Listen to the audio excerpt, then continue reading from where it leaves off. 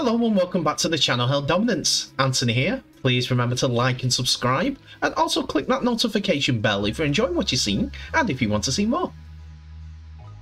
Coming up in this episode, six rugby league stories, whether it's the New Zealand Maori Rugby League, all the way to Batley Bulldogs, or from Melbourne Storm to St Helens.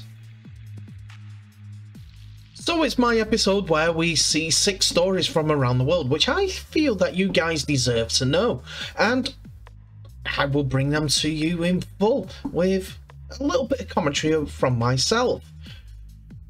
They're interest of me uh, to me, so I'm sure that they could be an interest to you. So without further ado, here are those six stories. As the New Zealand Maori Rugby League approached their fifth year of involvement in the Rugby League All Stars game of, with the NRL, their chairperson John Devonshire believes the time is right for the event to head across the Tasman Sea. Next year, the annual showpiece will be held outside of Australia for the first time, with Rotorua uh, confirmed as the host city on Monday at a ceremony attended by NRL CEO Andrew Abdo, Australian Rugby League Indigenous Council Chair Katrina Fanning, and other dignitaries, including representatives of the Te uh, the local people of the land. Devonshire said that he hoped to bring the event to New Zealand ever since the Maori took, uh, first took part in the All Stars game in 2019. It's something that from the first game we envisaged, but we had to prove ourselves. Uh, it was all about respect, Devonshire said. We've experienced their indigenous culture, we've been to Melbourne, we've been to the Gold Coast, Townsville, and Sydney. Now I'm pleased to say that we've earned the right for them to come over. In conjunction with the Te uh, people, it is our turn to show our hospitality and how we do it as a people, as Maori, and give them a chance to experience our culture. Rather than taking the event to a bigger city, the NRL has opted to play the All Stars at the cultural epicentre of New Zealand, located 230 kilometres south of Auckland.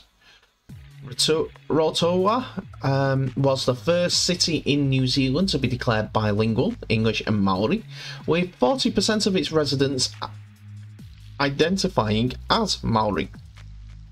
Abdo said with that in mind it is a it's the perfect place to hold the cultural salt showpiece. From a community perspective, this makes sense for us to play here.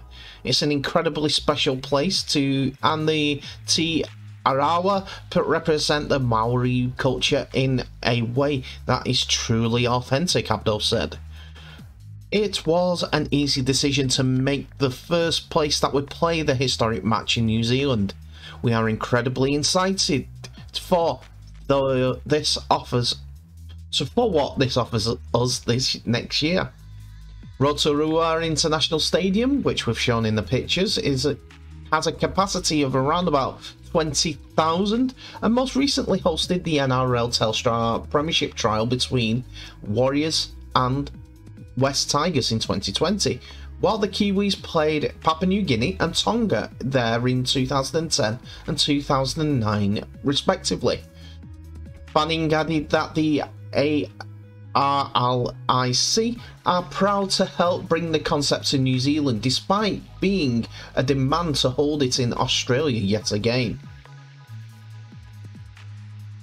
I know that this is culturally the right place to bring this game, Fanning said, when the All Stars started, it was a great concept, but the inclusion of the Maori All Stars made it excellent. We are really proud to be part of bringing the game here.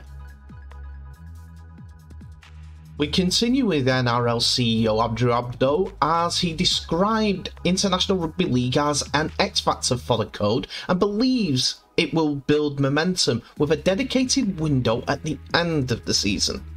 The first international fixtures involving NRL stars for in almost three years was played last week, well, a couple of weekends ago, and whet the appetite of players and fans for an end of season World Cup and more regular tests. However, with State of Origin returning to Wednesday nights for all three matches of the series, when the broadcast deal with Channel 9 begins next year, the standalone representative round will make way for an end of season international window. Abdo said the change will make International Rugby League stronger as players would not have to choose between state of origin or representing their na nation of heritage, as numerous members of the Blues and Maroons teams were forced to, while Super League stars would also be available.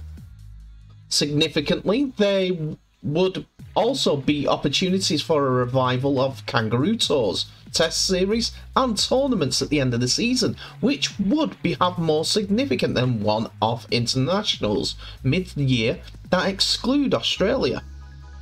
We are working through the season structure for next year.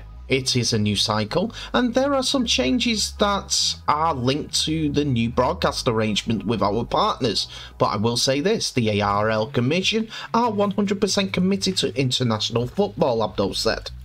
We are all incredibly excited about the rebirth of international football coming out of what we have been restricted to the last couple of years. This weekend was a great example for how important it is to the players and to the fans, and to all of us. It is the X factor we have with rugby league, the opportunity that would ha we have to really grow the international game, particularly here in Australia and New Zealand, and of course throughout the Pacific. So international footy will be a real priority going forwards. What we are doing is thinking strategically about the season and how to construct are the construction of the season, pre-season, state of origin, the premiership, and an international window in October and November. Interest in the international game has been growing strongly since the 2017 World Cup, and the, the defection of Jason Taumalolo, Andrew Fifita, and other stars to Tonga, helping turn the Pacific nation into a powerhouse team that narrowly missed the final, in which Australia beat England 6 0. Tonga beat New Zealand during the tournament and won tests in 2019 against Great Britain and Australia, in what is likely to be the last match the Kangaroos will have played before their opening World Cup clash with Fiji in, on October the 15th in Leeds. The men's and women's international double header between New Zealand and Tonga at Mount Smart the past Saturday week was a sellout and also established a record number for a women's international attendance, with 18,369 fans on hand to see the Kiwis Ferns beat the Mate Ma'a Tonga 50 points to 12. The Pacific Test double header in, Samoa, in which Samoa beat the Cook Islands 42 points to 12 and Papua New Guinea down Fiji 24 points to 14 drew a crowd of 10,720 at Campbelltown Sports Stadium on Saturday night.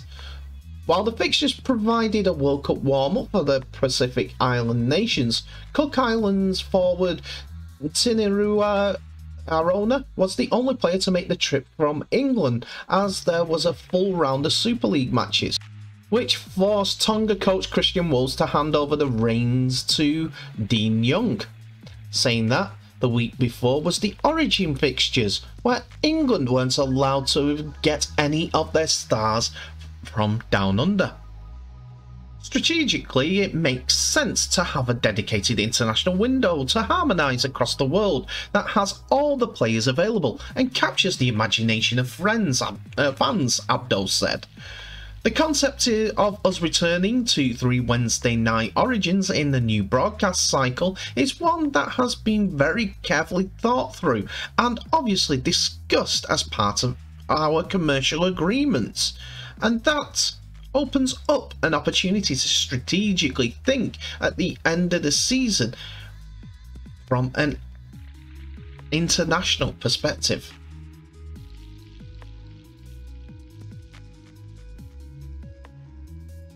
Roll forward, Daniel Saf Luca Fifita will join South Sydney Rabbitohs this week after gaining his immediate release from his playing contract at the Sydney Roosters. The Rabbitohs had already agreed to sign the 22-year-old uh, Matraville Tigers Jr. for next season and the two after, and on a contract until the end of the 2025 season. However, he will join the club for the remainder of the 2022 season and will be available for selection this week.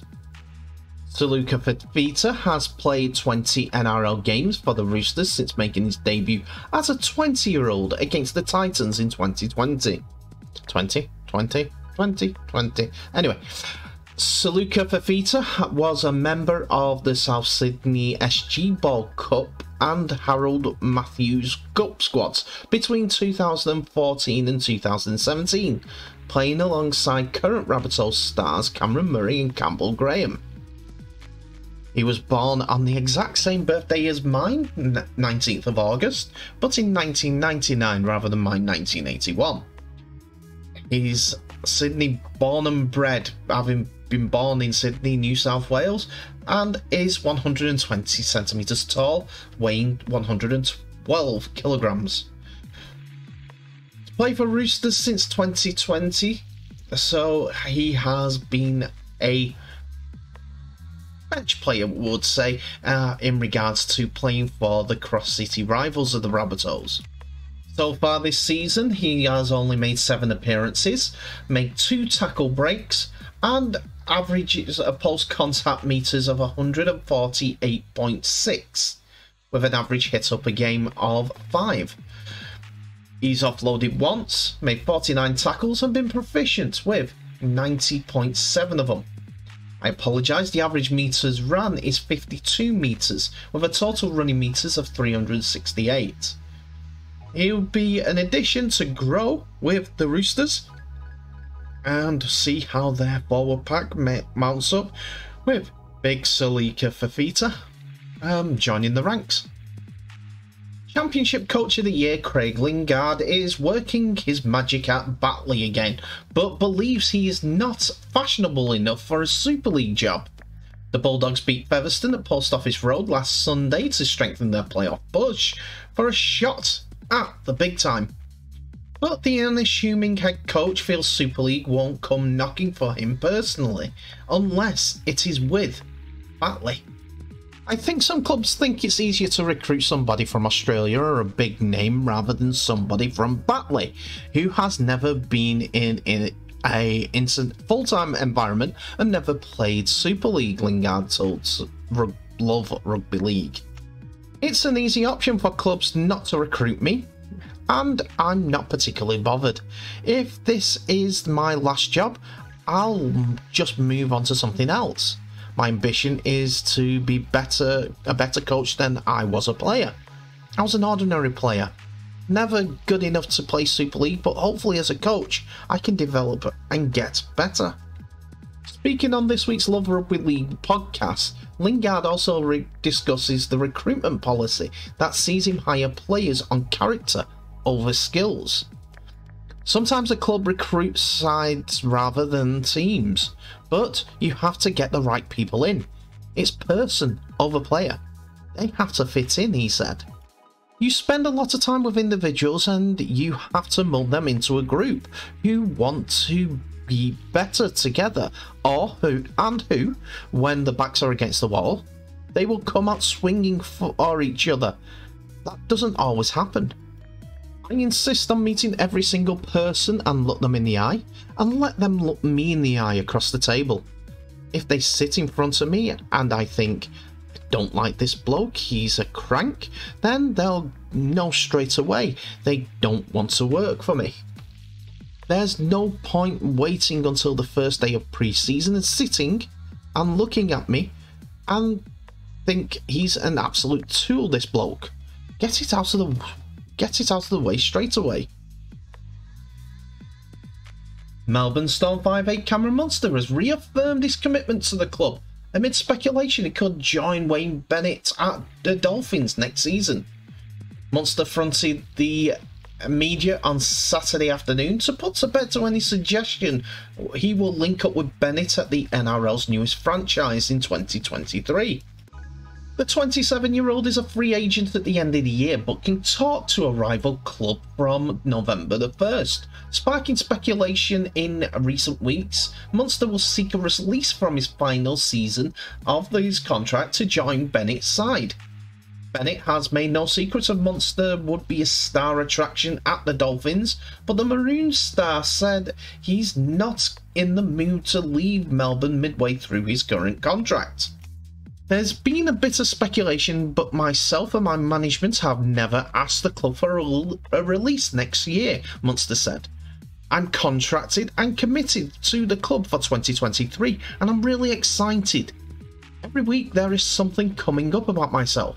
It's getting a bit frustrating because I'm worrying about my 40.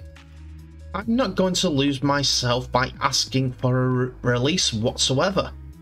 I want to see out my contract. I don't want to be one of those people who decides I want to leave. My main goal this year was to win a premiership with the Storm and next year as well. I'm still committed to the club and want to make sure we play some of our consistent footy finals. Finals footy even. On Bennett himself, Munster said Wayne's Wayne.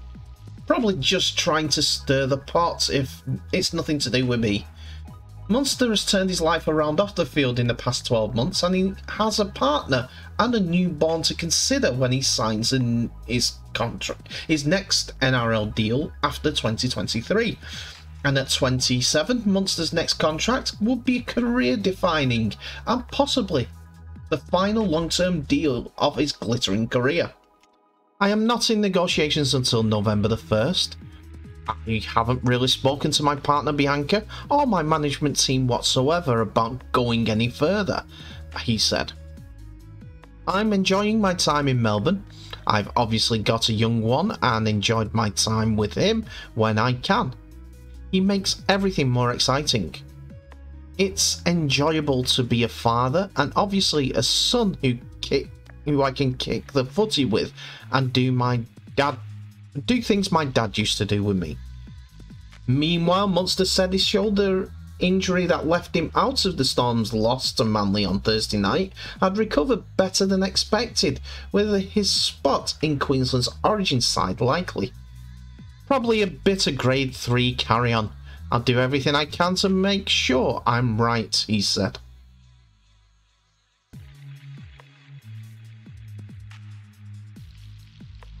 Promising St Helens prop forward Dan Norman has extended his stay at the Saints by a further year, which will keep him at the club until the end of the 2023 season. Norman, aged 24, made his debut in 2021, but it is this season where he's impressed, scoring four times in just eight appearances. The 6'5", 113 kilo prop was born in Warrington, but joined London Broncos ahead of the 2020 campaign from Widnes Vikings, where he made 19 appearances, including appearing at Wembley as the Vikings suffered defeat in the 1895 Cup final at the hands of Sheffield Eagles. An England representative at youth level, Norman made his Super League debut in 2018 against Salford Red Devils before Widnes were relegated. On signing his 12-month extension, Norman said, "I'm real. I am made up with uh, to be staying. It's such a good club, and it is where I want to be. All the lads and the staff and the fans are great, and I'm looking forward to the future." I've enjoyed getting some more game time this season, and luckily, I have been in the right place at the right time to get over for a few tries. This is the place for me to be for my development, and I'm learning a lot from an experienced PAP members. Head coach Kristian Woolf said, This is a great reward for the effort Dan has put in with us. We identified him as a big athletic body and we came he came to us quite raw, but he has developed really well over the last year. He has a great work ethic and is a great person everyone has seen his improvement and has had a big impact. The game against Leeds Rhinos was a good example of that. This season, he is holding his hand up and has really put himself into the picture. And that's it for another episode, ladies and gentlemen. Thank you so much for watching. Please remember to like, subscribe, and share this video worldwide, as well as clicking the notification bell for any new videos that may be coming your way in, in the near future. Tell me what your thoughts are of today's episode. Six uh, six stories. I'm not sure about Andrew Abdo's words, to be honest. I think it's a NRL priority, sod everything else type of deal. Origin is the biggest money spinner over there Rugby League. It will get preferential treatment above everything if NRL had their way. International rugby at the end of the year. It's kind of disheartening that they should do a couple of tests uh, Wednesday, Sunday for everyone to play at least twice so that they can build up for a big tournament and then have the end of the year tournament. Who knows what will go on in the future. Tell me what your thoughts are the, in the comments below about any of these stories. Thank you so much for watching. Thank you for all of you who keep reaching out. I love how you get involved and I want more people to be that involved. There's some really good discussions on these chats and on these videos. So thank you, thank you, thank you. Keep them up. But I will leave it there and say remember to share, share, share this video worldwide. And I wish you all the best. So please stay safe, and I'll see you in the next episode.